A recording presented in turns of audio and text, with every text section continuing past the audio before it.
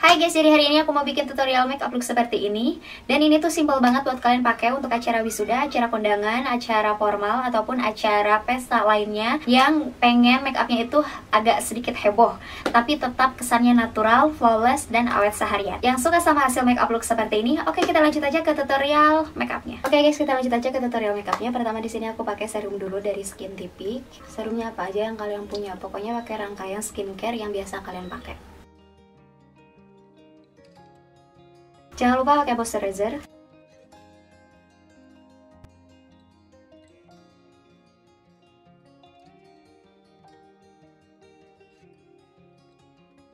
pakai moisturizer biasanya agak lama ya untuk meresapnya jadi pakai kipas aja kayak gini di angin-angin biar meresapnya dengan sempurna. Pakai sunscreennya masih sama dari Skin TV pakai sunscreen jangan pelit-pelit harus lumayan banyak ya guys Sebelum pakai produk lain wajib banget didiamin dulu 5-10 menitan supaya si skincare itu lebih menyerap dengan sempurna ya. Supaya hasilnya lebih awet pakai primer jangan lupa. Gunanya pakai primer mengurangi beruntusan ataupun pori-pori yang lumayan gede. Jadi dia itu tersamarkan guys kalau pakai primer. Wajib banget pakai primer hasilnya lebih awet. Gak gampang crack dan nanti hasilnya lebih flawless. Dilanjut aku pakai cushion dari Skin Tipic yang seri Ivory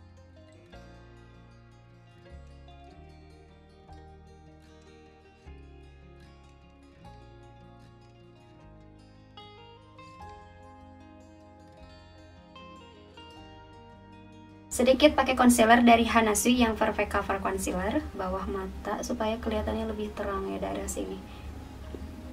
Di blend pakai sponge dari concealer. Kasih sedikit cream blush. Aku pakainya dari lipstick Marina Glow Ready. Cream blushnya kayak gini. Jadi ini tuh si lipsticknya bisa banget dipakai untuk eyeshadow. Dan hasilnya benar-benar mantul banget. Kita blend pakai jari aja bisa kalian pakai juga pakai sponge ya. Tapi aku lebih senang pakai jari aja. Jangan sampai blender ya. Jadi difokusin di bagian tulang pipi aja.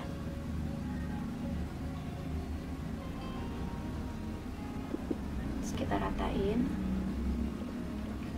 Di set pakai setting powder dari si makeup yang Acne Care Micro. Ya jadi ini tuh aman banget dipakai untuk uh, kulit berjerawat ataupun kulit yang sensitif jadi kita set pakai loose powder atau setting powder di bagian under eye karena tadi kan kita pakai uh, concealer ya. Jadi harus di set dia stay di tempat dan gak gampang crack jangan lupa dikasihnya banyak-banyak gak apa-apa. Karena dia itu warnanya putih tapi nggak bikin berubah make up guys. Hasilnya tetap natural. Karena aku pengen make upnya lebih dewy ataupun glowing hasil akhirnya jadi aku pakai dream setter yang satin finish dari Studio Trophy Jangan lupa dikipas-kipasin kayak gini supaya hasilnya lebih meresap dengan sempurna. Aku pakai pensil alisnya dari si Makeup yang 3 in 1. Dalam satu packaging kalian sudah dapatin tiga produk sekaligus. Ada pensil alis, brow cara, dan spoolie brush. Jadi aku sekarang mau pakai uh, brow cara dulu ya guys karena memang si brow cara ini tuh bikin alis aku itu jadi tegap berdiri paripurna terus awet seharian meskipun kecil tapi hasilnya bener-bener mantul banget guys. Sebenarnya kalau aku pakai pensil alis ini tuh cukup pakai brokara aja nggak perlu pakai pensil alis. Kalau misalnya pakai pensil alis itu mengisi bagian yang kosong aja. Pakai concealer dari Hanasui ya masih sama yang tadi aku pakai buat conceal bagian under eye-nya. Jadi sekarang aku juga mau pakai di bagian alisnya.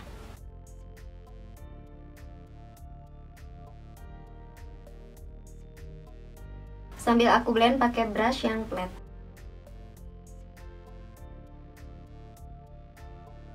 Dilanjut aku pakai eyeshadow velvet dari Pink Flash yang 04, pakai warna yang ini.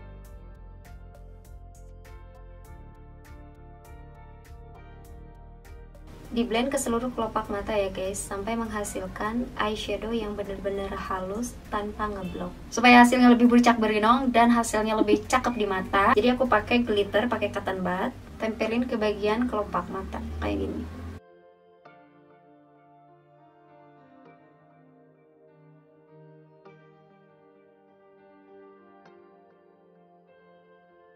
Pakai eyeliner dari makeover yang Hyperback Super Style Liner pakainya tipis-tipis aja ngikutin lekukan mata.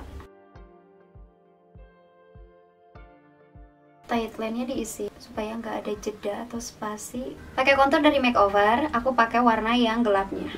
Jadi aku ngambilnya dikit aja, kita tepin ke bagian batang hidung.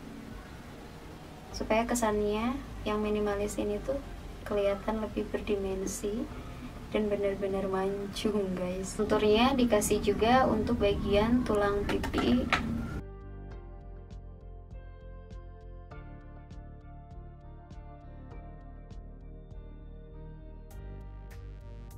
Complexionnya aku set pakai Smooth Way Cake yang Acne Cover dari si Makeup.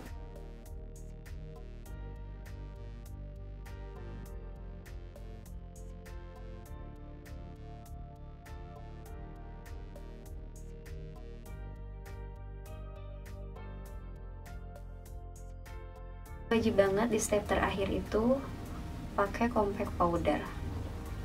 Yang ini sudah pakai compact powder atau twig cake dan yang ini belum. Bisa kalian lihat kan ini lebih merata lebih flawless dan lebih mulus. Aku pakai dua lipstick dari Marina Glow Ready yang Lucius lipstick. Aku pakainya seri yang 04 yang Brow to the Pure sama yang 07 White a Minute pakai warna 07 sebagai base lipstick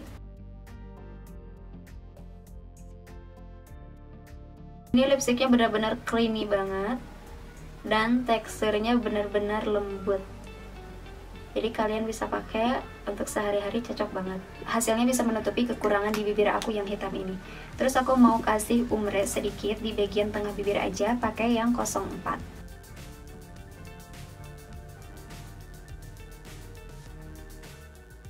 dilanjut pakai bulu mata palsu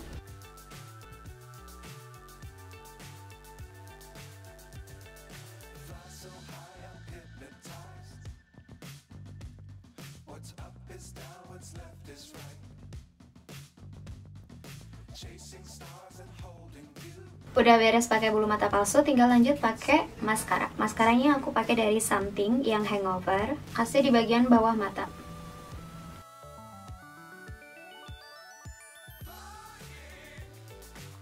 Step yang terakhir aku pakai setting spray dari Studio Toropic yang Dream Setters.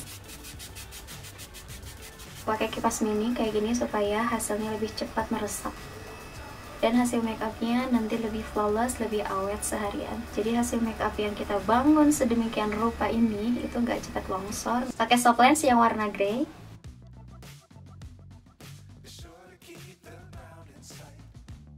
Pakai blush on dari Pixie Make It Glow yang Adorable Marble. Ini aku pakai seri yang 03. Jadi kalau misalnya kalian pengen makeupnya itu lebih simple dan ringkas, nggak perlu pakai highlighter, kalian boleh coba nih blush on dari Pixie Make It Glow dicampur lagi pakai compact powder atau twike supaya nggak terlalu medok ya warnanya dan tada, jadi ini dia hasil final looknya setelah aku pakai soft lens dan udah beres. Dan menurut kalian kurang apa sih makeup look hari ini? Komen di bawah. Dan kalau misalnya kalian ada request silahkan tinggalkan pesan di kolom komentar. btw kalau misalnya kalian salpok sama hijab yang aku pakai, jadi linknya aku taruh nanti di description box. Atau kalian bisa check out uh, di Mayor Style ya. Hijabnya Mayor Style.